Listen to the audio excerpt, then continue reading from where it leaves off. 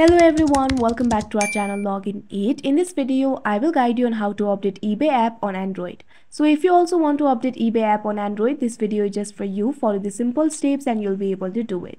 So first of all, what you have to do is go to Play Store. You can see over here Play Store is opened. Now simply tap on the search icon that you can see at the bottom right corner of your screen. Now tap on the search bar that you can see at the top. Now simply type in eBay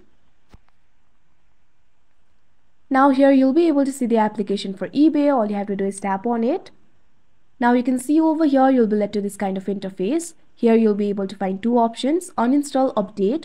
All you have to do is tap on the update option that you can see right over here. Now wait for a while.